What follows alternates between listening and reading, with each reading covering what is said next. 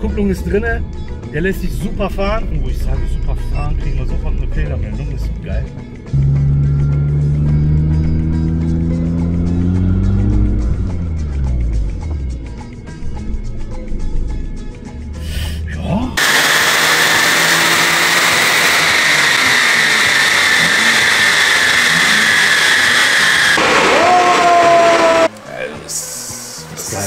Ist er jetzt wach geworden oder? Er ist abgekühlt.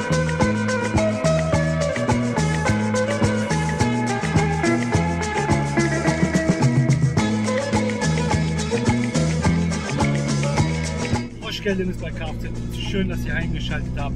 Ich bin auf dem Weg zu mit dir und wir wollen eine Leistungsmessung machen. Der eine oder andere wird sagen, ey Jonas, stehst du auf Leistungsmessung? Ja, stehe ich. Weil es gibt nichts Schöneres, wenn ihr irgendwas am Motor macht und dann zum Leistungsmessung geht und dann sehen könnt, hat, hat das was gebracht oder nicht. Das, das ist immer geil. Der mit dir wartet schon auf mich. Ich bin leider zu spät. Nicht, weil ich zu langsam bin oder ein langsames Auto habe. Der hat hier 304 PS, ja. Ich bin einfach zu spät losgefahren. Wir haben eine neue Kupplung hier verbaut. Die Kupplung war verglast. Ja, ihr habt recht. Ich kam nicht auf dieses Wort. Verglast. Verhärtet, habe ich mal gesagt. Darum ist es sehr interessant zu wissen, ob diese Kupplung jetzt was bringt oder nicht. Ich kann aber von der Beschleunigung her sagen, oder wie er sich fahren lässt, das ist brutal. Also ich fahre mit dem vierten Gang Berg runter, Berg hoch, das ist dem Latte. Der hat so eine Beschleunigung, das ist nicht normal. Einfach mit dem zweiten Gang, Landstraße. Was ist, was ist das? Also der packt, also die Kupplung ist brutal. Egal, ich will jetzt die Kupplung bis dahin nicht verbrennen. Deswegen fahre ich jetzt easy zu mit dir und werden einmal eine Messung machen. Oder auch zwei. Oder auch drei. Je nachdem, wie viel Zeit der hat und wie viel Bock wir haben. Und ja, wir wissen ja auch nicht, wie lange das Ding hier mitmacht. 300.000 hat er schon auf der Uhr. Nicht ganz. Mir fehlen nur noch 600 Kilometer, die will ich auch noch schaffen. Ich freue mich auf den hier, ehrlich, ey, schon lange nicht mehr gesehen. Gleich. Ich beschleunige nicht, keine Angst. Ich fahre ganz chillig. Auch wenn es mich in den Fingern juckt. Ich bin auf der Landstraße, eine Sekunde. Ich muss ja auch mal hier ausgiebig die Kupplung machen testen. Habe ich ja noch nicht gemacht. So, eine Sekunde.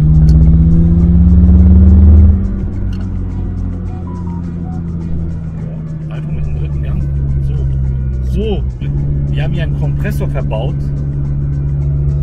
der einfach mal 120 PS mehr bringt.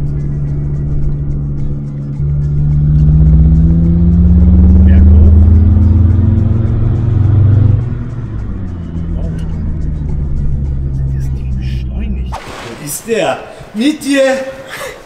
Wie geht's dir, Mann? Alles Gut, gut? und selbst? Auch gut. Auch Lange nicht gesehen. gut. Auf jeden Fall, aber wiedererkannt. Die Frisur. Dankeschön. Ich hatte heute ein bisschen elektrische Probleme gehabt. Wow. Das ist Wahnsinn. Ich stehe auf so. Ich stehe auf Amis, die richtig schön Krach machen. PS ist egal. Der macht Krach, aber richtig. Oh, das glaube ich dir. Was ist das für Schönes hier? Drosselklappen? Für die Drosselklappe, oder was? Bitte? Ist das für die Drosselklappe? Ja, ja, so Motorspülung, ja. Also Motorspülung. Und, und, Ja, das habe äh, ich mal gesehen weiter, ja. Cool. Schönes Ding. Mit dir muss ich auf jeden Fall das hier anschauen. Das habe ich extra mitgebracht. Boah, habe ich das vermisst, den so auf der Rolle zu sehen. Hammergeil. Er hat ja auch auf der Rolle mehr Kilometer gemacht als auf der Straße, oder? Das stimmt. Wir haben jetzt 16 Zoll. Anstatt 17 Zoll. Ja, Wird ja jetzt viel mehr Unterschied machen. ja, das werden wir gleich sehen. Messen die Kompensation neu ein und synchronisieren den neu und werden wir sehen, ob das dann einen Unterschied macht. Ja. Sieht man, bevor man die Messung macht. Ja. Okay. Bist du so groß? Kommt kaum ans Pedal. Das ist so, wenn man längere Beine hat. Normalerweise benutzen wir nur Gurte, aber bei dem brauchen wir hinten auf jeden Fall Ketten. Jetzt, also die kann ja eigentlich unmöglich bei der Laufleistung noch die erste sein, oder? Nee, glaube ich Vor allem dafür sieht die viel zu gut aus Finde eigentlich. ich Ne? auch. Also es haben ja auch ein, zwei Getriebeschrauben gefehlt. Ne? Die hat Temperatur bekommen ein Genau. bisschen, ne? Jetzt nicht übertrieben, aber schon, die hat schon was gesehen, ja. Ja. Ja, Schwungrad sah zumindest im Video besser aus als jetzt die Druckplatte. Genau, ne? Schwungart hat ja auch keine Probleme gehabt. Ja, die verglasen so diese Belege. Ne? Das sind übrigens, hast du ja auch gerätselt, das sind eigentlich, äh, bin jetzt auch kein Fachmann dafür, aber organische Belege. Das ist or Organisch, organisches genau. Material. Ja. Und was ich aber interessant finde, hier glitzert überall so zwischendurch Kupfer, äh, Kupferfarben. Ne? Soll ja, ich glaube. Ich glaube, diese, da sind so Kupfer, äh, um das zu, ähm, Genau. diesen Belag Ja. miteinander zu verbinden. Also, dass das quasi ein, so diese Fasern da drin oder so. Ja. Ich habe keine Ahnung, aber Pulver in der Herstellung, wenn du das zusammenfügst, ja, das muss ja auch irgendwie eine, wie beim Beton oder so. Da Ja. hast du ja auch Eisen Genau, dazwischen, genau. dass sich das richtig verbinden kann, ja. Und ist ich denke, Hammer. das haben die deshalb da reingemischt. Aber sieht besser aus als, äh, Ja, also als erwartet, ja. ich weiß es nicht, ob es die erste ist. Wenn es die erste ist, ist es krass. so eine kleine Stufe. Hier eigentlich genau hier, wo du das, Ja, äh, die stimmt. Farbe siehst, wie so eine Stufe, sag ich mal. Ne? Als man würde er nur hier packen. Ja, ja, hier ist bestimmt dann stärker Druck drauf gewesen einfach. Ne? Ja, müssen wir das einmal neu einmessen. Kompensation und so, ne? wegen den Rädern. Genau, die Reifen sind ja anders jetzt. Hier nochmal Riesendankeschön an Daniel, dem mir die Reifen gegeben hat, der Liebe. Bin ich gespannt. Also, es kann sein, dass wir vielleicht 220 PS haben. Es kann auch sein, dass wir weit über 300 PS haben. Bin gespannt. Theoretisch stimmt das soweit.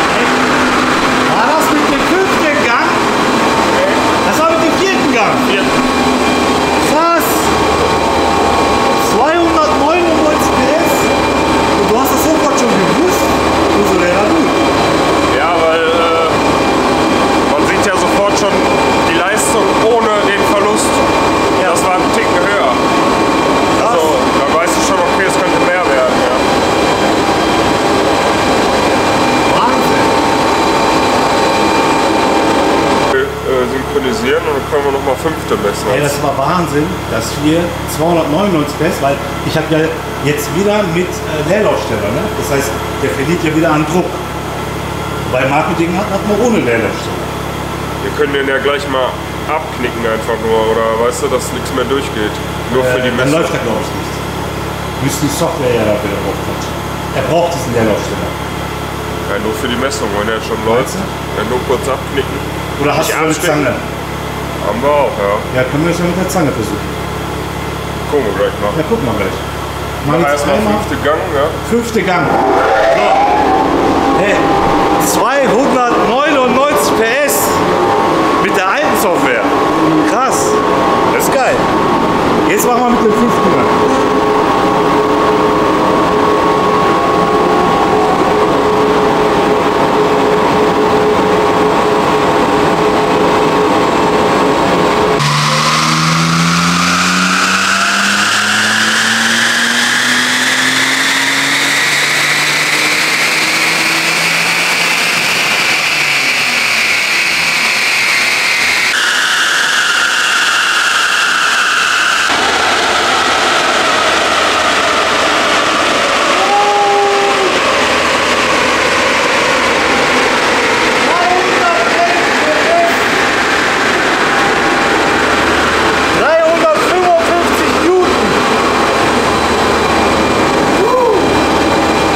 Fünften Gang kommt da auf jeden Fall tatsächlich mehr bei rum, ja.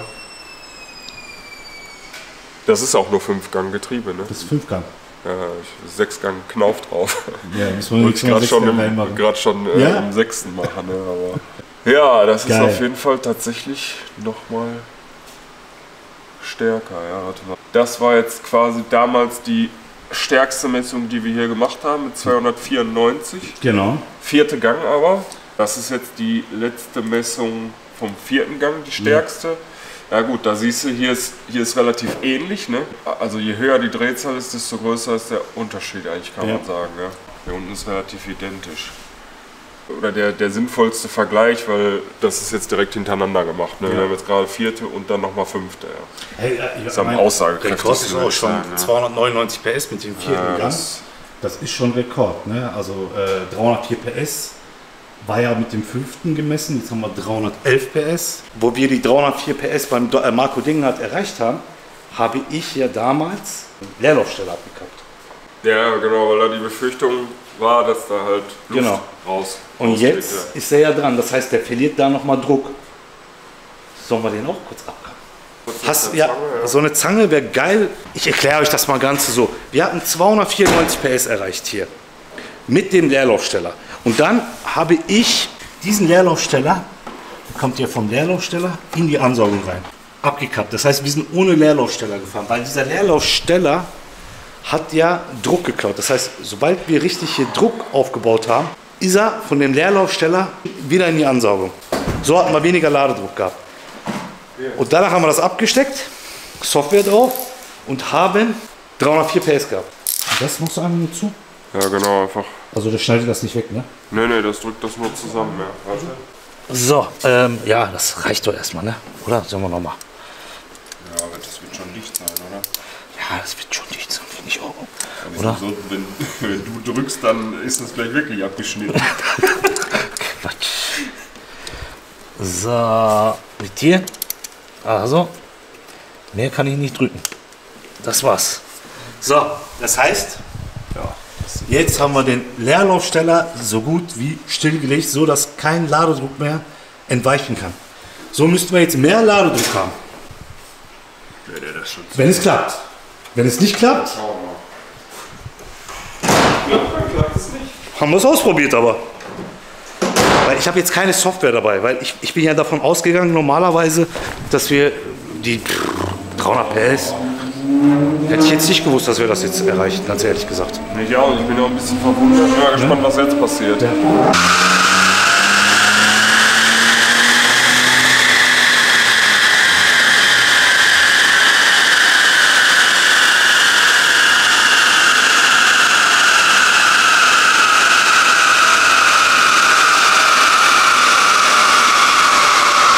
Traktionskontrolle an. Muss eine Kontrollleuchte machen? Nein, Traktionskontrolle. Muss man auch machen. Reifen sind durchgedreht. Der muss das nochmal machen. Ja, der hat auch Power, das Auto.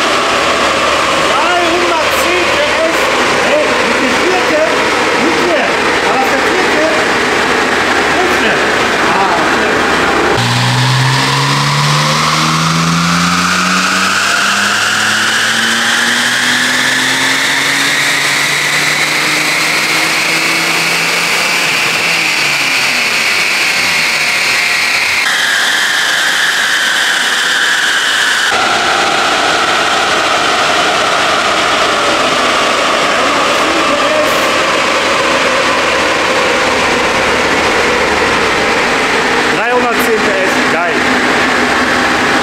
Aber jetzt dauern. Aber geil. Und 350 Minuten. Ja, also dieses Gezuppel hier, das war auf jeden Fall die Traktionskontrolle, ja. Ja. Die ist jetzt erstmalig, ich habe die ja die ganze Mal davor auch nicht abgeschaltet, Ja. ne? die ist jetzt erstmal angegangen, was mir direkt aufgefallen ist auf jeden Fall. Das Auto hat, ich sage jetzt mal so bei 1500 Umdrehungen viel mehr Kraft. Viel mehr, ne? Viel mehr, ja. Vorhin war das so, der, der ist sogar ausgegangen, wo du mich gefragt hast, ob Ja. äh, Motorkontrollleuchter angegangen ist. Und äh, da hatte der einfach so wenig Kraft, dass der immer langsamer geworden ist und dann irgendwann ausgegangen ist. Und jetzt hat der richtig, geht sofort los, weißt du, wie man das auch vom Kompressor gewohnt ist, ja. Also das macht auf jeden Fall einen Unterschied, aber vor allem äh, im unteren Teil, also ich kann mir auch vorstellen, dass daher die, äh, das Problem kommt äh, mit deiner Meinst du, dass ich den mal zumachen soll? Oder meinst du, dass ich Naja, ich meine, es gibt auf jeden Fall ein Problem damit, weil normal muss das auch mit Kurbelgehäuse und Lüftung gut funktionieren. Aber äh, der hat jetzt anscheinend, ähm, also weißt du, wie ich meine, ne? Ja, ja, klar. Die ist jetzt komplett zu und er hat viel mehr Kraft so. Und der läuft auch besser jetzt. Also er läuft definitiv besser, ja. Aber das Ergebnis ist ja jetzt relativ ähnlich, ja. Ja. Gut, ein PS Unterschied, ein Newtonmeter, ne? Aber sonst siehst du ja, die Kurve ist äh, komplett identisch jetzt mit, Ja. äh, wenn Traktionskontrolle halt aus ist, ne? Also jeweils der fünfte Gang miteinander verglichen. Und achso, ne, Moment, das war sogar jetzt. Besser. Äh, wir müssen das mal hier anders farbig machen. genau. Genau, die unter, die, ja, mit sogar einen ta kleinen Tacken schwächer. Ab hier, ne? Ab 5000, kleinen Tacken schwächer. Aber das äh, wird jetzt wahrscheinlich nicht unbedingt daran liegen, dass, dass wir die zugemacht haben. Das ist auch normale, normale Toleranz. Am Motor liefert ja nicht jedes Mal exakt das gleiche ab. Ne? Das ist ja kein, Ja. kein Uhrwerk. oder Also äh, daher Ja, irgendwas stimmt da mit sagen, dem bringt das leistungsmäßig nur untenrum was. Also das hast du brutal äh, gemerkt, ja, beim, also dieses Ja. Losfahren. Ich würde sagen, unterhalb von 2000 macht das einen riesen Unterschied, ja. Ja, das hat man eigentlich auch gemerkt. Also jetzt, jetzt du trittst wirklich rein und der dreht sofort los die Räder und gerade weil äh, äh, äh, äh, äh, und dann musst du schon runterschalten und das äh, also konnte man ab 2000 Umdrehungen losmessen, ja. Ja, das ist Wahnsinn, dass wir auch diese. Hast du noch die Messung mit den 240 PS, die wir einmal bei dir hatten? Das Hast muss das- ja eher bestimmt. Hast du das noch? Das ist glaube ich, 227 das PS. ist glaube ich als Sauger und das ist genau als Und das ist interessant für Leute, die ihr, ich sag mal, 325 umbauen möchten und die mitgelieferte Software, was ihr bekommt, habt ihr beim 325er 227 PS, das heißt, wir hatten 180 PS gehabt, das heißt, ihr kriegt um die 50 PS mehr. Wenn ihr so einen Kompressor kauft und den einbaut, 40, ja, so 40, 43 Newtonmeter und ja, so Ja. 50, fast 50, 50 PS. Genau, fast 50 PS mehr. Kriegt ihr, wenn ihr so einen Kompressor einbaut, mit der gelieferten Software, die ihr kriegt. Oder was heißt mitgeliefert? Die wird ja auch für euch äh, angepasst. Ne? Und wir haben ja das Ganze geändert, gemacht, getan und sind jetzt bei 310 PS und 350 war Peak. Ja, drei- sagen wir mal 350 Newton. Das ist Wahnsinn. Ja, du weißt Ja, aber bei Marco Dinghardt hatten wir ja die Diskussion angefangen. Ich glaube, da war die Kamera aus. Ja. Aber da sagte Marco, äh, ich bin ja jetzt nicht so im Thema, aber ähm, Marco sagte, dass da in den ganzen Foren und so weiter, er hat also auch im vierten Gang gemessen und in diesen Foren da hieß dann überall, ja, du musst im fünften messen. Weil angeblich, äh, und das weiß ich jetzt nicht so genau, die, der fünfte Gang näher an der 1 zu 1 Übersetzung dran ist wie der vierte. Würde Ja. mich persönlich ehrlich gesagt ziemlich stark wundern, weil dann würde es gar keinen Spritspargang oder irgend sowas geben. Weißt Ja. du, wie man das schon eigentlich seit den 90ern Jahren mindestens macht, ja. Äh, aber ich weiß es halt nicht. Man müsste das herausfinden, ja. Wenn einer meint, nee, vierte Gang ist, ist richtig, dann soll er sich das Ergebnis nehmen. Wenn einer meint, fünfte Ja. Gang ist richtig, soll er sich das andere nehmen. Ja, aber, weißt du was? Äh, Ja. Ganz ehrlich, normalerweise ist eigentlich so, das Höchste, was man halt gemessen hat, das ist auch, das passt auch. Ja. Vorausgesetzt, man erfüllt jetzt im Großen und Ganzen die, die Anforderungen aus der Norm, ja. Vierte Gang, letzte Messung mit den abgeklemmten Leerlaufsteller. Und jetzt bin ich mal gespannt, ob wir die 300 PS mit dem vierten Gang schaffen.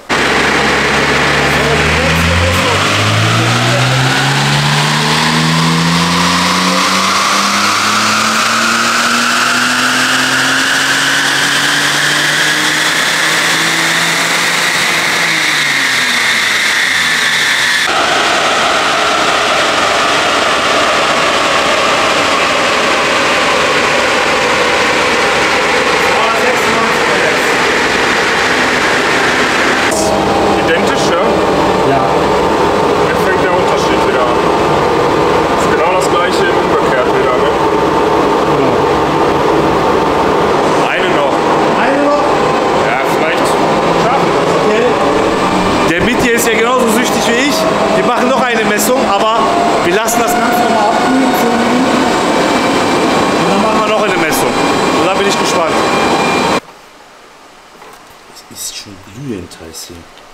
Wahnsinn. Also echt sehr heiß. Es ist eiskalt hier. Hier ist es richtig schön warm. Ja, das hat echt was gebracht. Aber es kann auch sein, dass die Kurbelwellenentlüftung auch kaputt ist, dass er auch da Druck raushaut. Vielleicht das auch noch abklemmen. Wie oft haben wir jetzt eine Messung gemacht? Ich glaube sechs, sieben Mal. Ne? Also immer im roten Bereich. Stehend. Ihr habt zwar hier eine Gebläse, aber trotzdem, das ist ja für den Motor nichts Schönes, nichts Gutes. Ne? Also jetzt mittlerweile die 130 PS steckt da einfach so weg und das, da bin ich echt beeindruckt von dem Motor. M54 Motoren, die sind einfach nur geil. Und ja, dass das Ganze so hält, dass das funktioniert, finde ich geil, auf jeden Fall. Äh, Ob man jetzt noch eine kleinere Riemenscheibe nehmen kann und noch mehr PS rauskitzeln kann, das weiß ich nicht. Irgendwo hat er auch seine Grenzen und ich glaube, ich bin schon kurz davor. Ne? Also ich, ich würde jetzt sagen, auch nicht mehr machen. Viel kühler wird er nicht wahrscheinlich. Nee, das Ding ist abgekühlt, würde ich sagen.